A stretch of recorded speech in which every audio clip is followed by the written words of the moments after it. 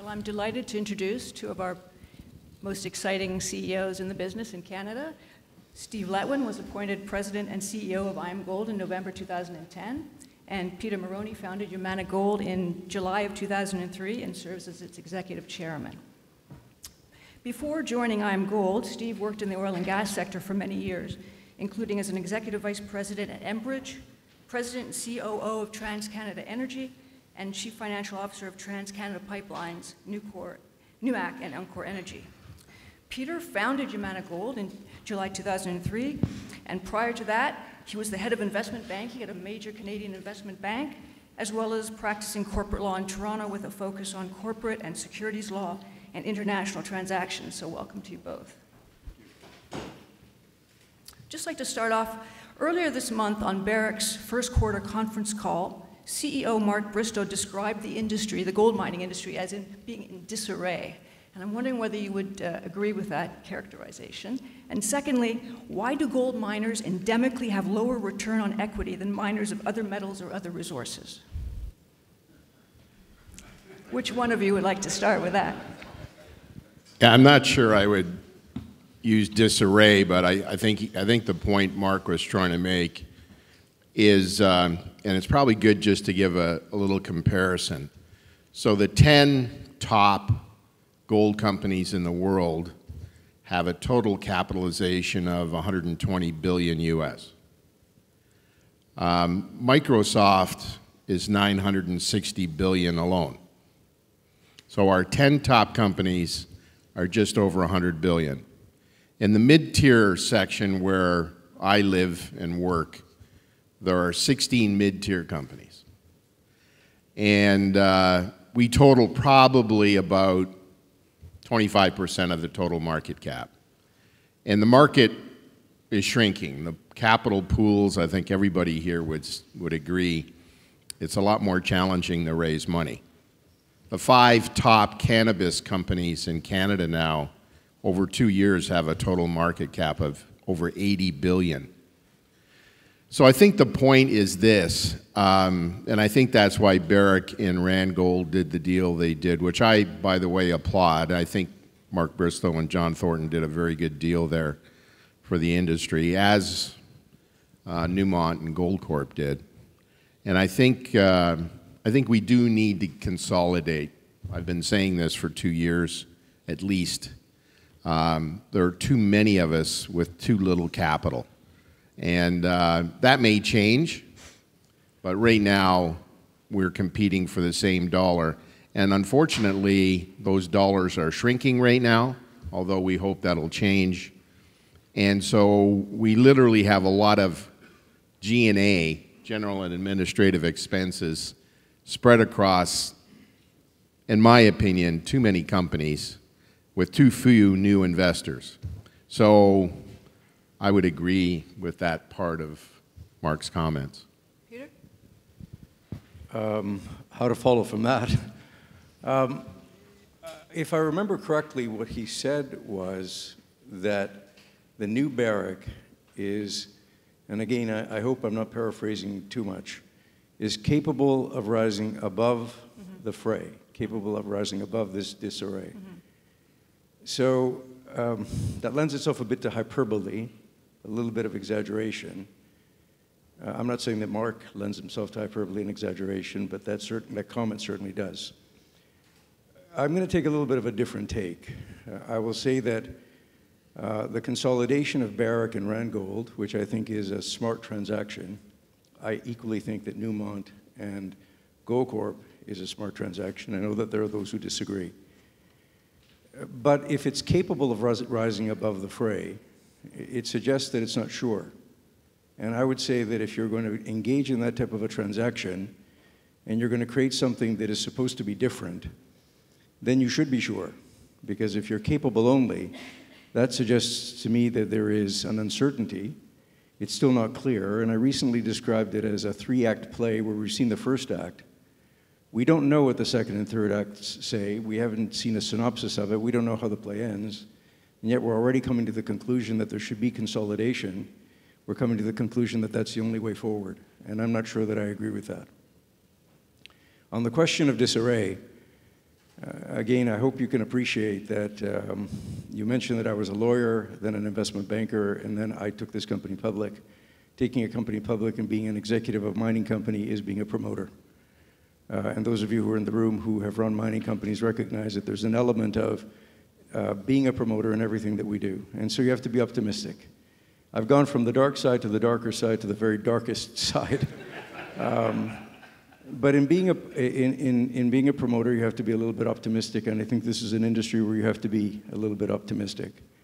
Uh, I, don't t- I don't take what is happening today as the end of days. I think that it is a cycle. We're going through a cycle. It is at a point in the cycle that I was saying recently to someone, or just in, in the anteroom uh, to someone just before this uh, presentation, that it's the worst I've seen in probably 25 to 30 years. Uh, 15 years with this company, but been on boards of directors of public mining companies, represented those companies as a, either as an investment banker or as a lawyer. So it isn't particularly good, but let's not give up on it yet. Uh, the industry is not entirely in disarray. We're finding things, we're replacing ounces, we are consolidating as those companies have done. Uh, we, are, we are producing. Uh, gold is range, seems to be range bound. Uh, but it's range bound within an area that, for many companies, perhaps the majority, certainly the plurality of companies, they're making money. We're generating free cash flow. We can, we can demonstrate that there's a value proposition. I think where there is a disconnect, perhaps what creates that disarray, is that we haven't done a very uh, good job. In fact, we've done a very poor job of communicating to the investing public what the thesis for investment in a gold mining company is. I think we've done a better job in communicating what the thesis is for investing in gold, but not necessarily in the gold equities. And I think that we have to get better at it. Uh, now, if I go back 25 years ago, those of you who are in the audience who have been around that long would remember that we used to model companies based on net asset value, and then it became cash flows. And now it's free cash flow and uh, the generation of EBITDA. And there seems to be an uncertainty of what it is that makes the difference in investing in a, in a mining company and in a gold mining company in particular. I personally think that it's a combination of many of those things. Yes, you should be generating free cash flow, but if you're overlooking the investment in the ground, if you're returning only money to shareholders and, and overlooking that investment in the ground, that creates a little bit of that, that disarray. So I have a bit of a different take on, on uh, that uh, comment of the market being, or at least the the, the uh, industry being in disarray. I don't believe the consolidation is the only path forward. I think that bigger is not better. I think the better is better. And I would say that, uh, and this is a plug perhaps to you, Steve, and certainly I think to ourselves, that the sweet spot to be is the intermediate mining companies. And if I'm right that we will enter a cycle where gold price improves and an investment in the equities will improve, the best place to be is in the intermediate sized companies. And consolidation for the sake of becoming bigger is a mistake. Replacing ounces becomes more difficult. We have to go to more uh, far flung places, and that creates, that uh, creates an imbalance between the risk and reward uh, uh, uh, uh equation. I think it's fair to say, though, that many companies in this business are not being profitable at the current gold price.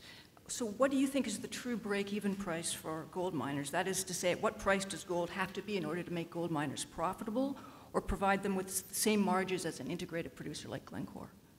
So, so uh, perhaps if I can begin, Steve? Sure. Uh, profit, and, and, I, and I know that there are many in other industries that, that disagree with this comment, but profit is, is different than cash flow and free cash flow and, and I appreciate that we should be measured based on profitability, but boy, profitability is tough in, in, in an industry that doesn't attract a lot of attention, uh, where there are rules that are not designed to accommodate what the industry is about. An excellent example, and it's almost, an almost a real life example, uh, is uh, on a mine that we owned that we sold uh, several years ago. Um, imagine the following if you discover a million ounces and it costs you 50 million to develop that million ounces into production, then you discover a second million ounces and it costs you a million to develop that and put it into production. The businessman in me would say, well, then that's 2 million ounces over $51 million, and that's what you should be amortizing. Whereas accountancy rules, and I'm not an accountant, but accountancy, and I hope I'm not offending accountants in the room, but accountancy rules would say that you've got to amortize that first 50 million over the million ounces before you get to that second, 50, second million ounces over a million. And, and that seems skewered to me a little bit, and it leads to a different financial result, a different profit result. I agree that we should be generating cash flow. I agree with you that we should be generating free cash flow. Where it is not clear to me, and this is where, as an industry, perhaps as an industry participant, the World Gold Council, as a representative of this industry, should start to define it a little bit better. What is free cash flow? Uh, because if it is after investment, for example, in expansionary capital, then uh, the, the, industry will be doomed because we cannot expand, we cannot build new mines, we cannot find new ounces and then develop those new ounces if the holy grail is only free cash flow. On your question of profitability or generation of free cash flow, I think probably 1250 is a good sweet spot. I'd say that at 1250, perhaps as low as 1200, most of the companies, certainly the intermediate size and larger cap companies, begin to generate free cash flow. Below that, it, becomes, it starts to become a little bit more difficult. But so many factors go into it that it becomes very difficult to consider. Steve touched on a few moments ago that we can take steps to improve our G&A. I think the answer is yes, we probably can. Certainly, we're taking those steps now. The impact of currencies can have a very significant impact. The Brazilian real, the Brazilian reais uh, four years ago was at 1.6. Today, it's at 4.09. And that makes a huge difference in terms of uh, the, the, the margin that we generate from operations in one country or another. Uh, and, and, so it, it's difficult to gauge, but I'd say a good point would be 1250, perhaps as low as 1200, where we start to generate free cash flow. But what is more interesting to me is the sensitivity. Uh, as an industry, we as a company in the industry are highly sensitive to metal prices. So uh, a $50 movement in gold price uh, takes what is a, perhaps a modest level of cash flow and free cash flow and makes it a multiple of that. So um, we've been range bound for a while in that range of probably 1200 to 1350 thereabouts. And between 1200 and 1350, this, this industry is generating good free cash flow. And in my view, that is not supported uh, by the share price. The share prices are are low by comparison to the cash flows that are being generated and the free cash flows being generated. Okay. Steve, same, same question. Yeah, I, I, I think Einstein said, you know, if you, uh, if you want to look at the definition of insanity, it's doing the same thing over and over again and expecting a different outcome. There's a bit of insanity in the gold space where if we don't do something differently we're going to continue to wither away. When I joined the industry from the oil and gas business in 2011, precious metals alone was uh, raised 8 billion in equity. Do you know what that number is today? It's less than 100 million this year. The market is tired of the way we run our business. So we need to wake up and listen to the market and do something different. We're going to have to go, in the absence of being able to raise equity, we have to go to a self funding model. The oil and gas business had to do the same thing. So we can disagree about our valuations. But for the last seven years, gold price has averaged 1250. People are tired of it. People haven't seen the catalyst. We were supposed to go to $1,400 this year. Even Goldman Sachs said that, who had said gold was going to go to 900 just three years ago. So look, I'm as optimistic as the next guy. I wouldn't be in this business if I wasn't. I was in the oil and gas business 28 years. I saw six cycles. We need to pull up our socks and generate free cash flow to fund our businesses. Or we will disappear. And the mid tier sector is a sector where we really need, as Peter said, to get our act together and start generating enough free cash flow to move the growth ahead because you know what? The market isn't there for us to raise the money. Go try and raise equity today. It isn't going to happen. What more is going to, what, what more is it going to take before investor sentiment improves, though, beyond a higher gold price? You need, you need a catalyst. I, I, I don't like saying it's got to be priced, but I think we do need the gold price to move out of that, as Peter said, that it's range bound. We have a hard time sticking above $1,300. Have you watched it? It, it hits 1301, hits 1302. I get all excited. I, I know the rest of you do. You get up in the morning, gold's above 1300.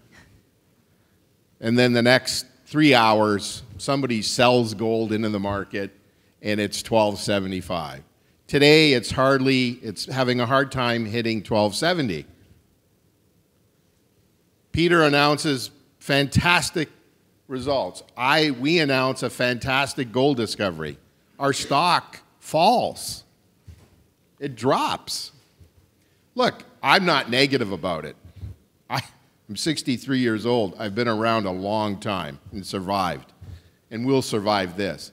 I'm just saying we can't keep doing the same thing over and over again and expect that the market is just going to wake up one day and say, oh, we love you again. We need to change, or we will suffer the consequences. So I'm not being fatalistic. We just need to make sure that we are in touch with the market. And a self funding model right now is what the market is demanding. Given the difficult, oh, sorry, go ahead, Peter. So I, um, where I agree uh, with what Steve has said is uh, that there has to be some change, but where I am Perhaps if I can pick up on something that Steve said about the size of the industry. So the 10 largest companies have a market capitalization, I think Steve mentioned, of 120 billion. I think the entire industry is somewhere in the range of 200 billion. At its height, it was probably 400 billion. Uh, and at some point over the course of the last decade, that's about the amount of cash that was on Apple's balance sheet. So it's not a very big industry. But again, allow me to be a bit optimistic. Um, and I, I think this is important. Gold equities are now trading at all time lows to gold price, even with a range bound gold price. And um, we have a small industry. And we have a very big market, a very, very big market that has become much bigger than it was. As I was saying to someone in the ante room outside, I think that the market has overlooked what is always true, which is you have to look at risk reward, you have to look at volatility. Uh, and it is also true that markets overshoot and undershoot. And I think we're in a classic situation today where the broader market is overshooting and is disregarding volatility, it is disregarding risk, geopolitical risk, socioeconomic risk. It's trite for me to say what you already know. World debt is more than double what it was in 2008. And I know I'm not up on current events, but we had a financial crisis in 2008. So world debt is high, very high. Uh, we have geopolitical conflict in at least three really hot hotspots in the world. And yes, gold is, seems to be range bound. And if I can step back for a moment, if Goldman Sachs said it was going to 900 and it didn't, why did we believe that it would go to 1400? Yeah.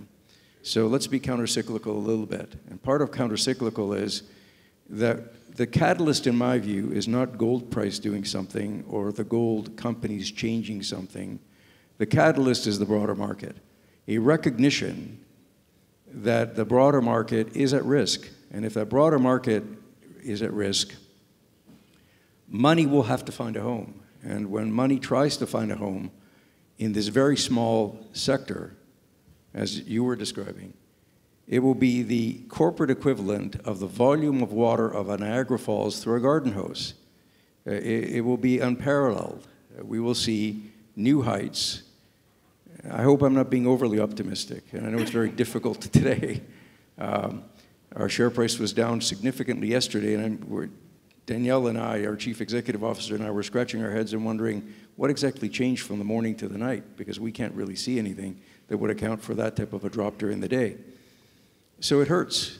Uh, it hurts me personally. I'm invested, and I bought, buy, continue to buy shares. It hurts you as investors. It hurts executives of companies. It hurts all of us. But I think we need to, to, to keep an eye on the reality that the broader market is attracting and sucking so much uh, money into it that there isn't anything really left in this industry. But when that changes, and it will change because everything goes through a cycle, it would be that equivalent of, of the volume of a Niagara Falls amount of water coming through a garden hose because this industry is so small. And, and we will see new heights. We'll be having this conference a year from now or maybe two years from, from now, and we'll, we'll be sick, uh, we will be looking back and wondering why we were worried in the first place. What mistakes do you think mining companies keep making? And the same question, what mistakes do investors keep making when investing in gold companies? Well, I think I, you know, I wrote a paper uh, three years ago, uh, and I was looking at our reserve situation in the gold space, and I'd done similar work in oil and gas, and I'd happened to be right in the oil and gas sector in the 90s, and I made a lot of money. But I was wrong this time in the gold sector because I thought we were probably going to hit peak gold this year last year. But in 2018, we actually produced more gold than we ever have in our history. We produced 109 million ounces. And we seem to be able to, because of the emphasis on near, near mine exploration, which is smart, short cycle economics, I underestimated how much of that we could do in my formula. So I made a mistake and because of the focus on free cash flow, as Peter was talking about, we're seeing actually more gold being produced than we ever have. So although the reserves are falling, as Peter talked about, the long term, and there will come a point, as he said, where this will cross. The question is when? When do we wake up in the morning and somebody says, gold production is actually falling relative to last year. And we have a situation because of the small industry where this Niagara Falls situation occurs and the price of gold goes up to what Rob McEwen loves to talk about $5,000 an ounce or $10,000 an ounce. That truly would be a party. Um, but right now, um, we haven't seen that math. So we continue, and then the market is saying, we're not going to give you any money to invest. Stop. Stop doing that. Because guess what? We're not going to give you any more money to do that. Your history around building mines with rates of return that are acceptable um, hasn't been there. So we may challenge the market and say the market has got it wrong, but the market is what pays our bills. So we need to listen to the market. And the market is saying too much gold. Not enough reserves. We all know that reserves are falling, but our actual production continues to rise. So we do need to react to that in some form or fashion. I don't know if we could form an OPEC for gold producers. I've thought about that. Because, you know, we're throwing too much gold into the market right now relative to what the market wants. Yeah, um, I am not smart enough to really understand peak gold. Um, one of our executive officers has a, an, an, excellent thesis. He was an analyst in the financial community, and he has an excellent thesis on peak gold. My gut tells me, however, that uh, the supply side is never as good on driving value and price as the demand side. And so we could get to a point where we actually throttle back on production but I'm not sure that that's going to be determinative over the longer term of what happens to price. What happens to price for gold is going to be dependent on the demand side. And, and um, I think that that is where we should be placing our focus. Now, on the demand side, what's interesting to me is where is a lot of the buying occurring? A lot of the buying is occurring in Asia with certain central banks. And, I know it's, it's a bit difficult because I don't know if I can talk in 20 year terms or 10 year terms or even five year terms. And certainly markets are more focused on something that is more immediate than that. But if we looked at a longer term tra tra trajectory, we're seeing something that is very unique, which is the de-dollarization of some parts of the world. And, and there is a re-emphasis among certain countries, certain um, companies, industries, uh, central banks uh, on investment in gold. And, so I would encourage all of us to be focusing on the demand side rather than the supply side to determine ultimately what happens uh, to, to, to gold price.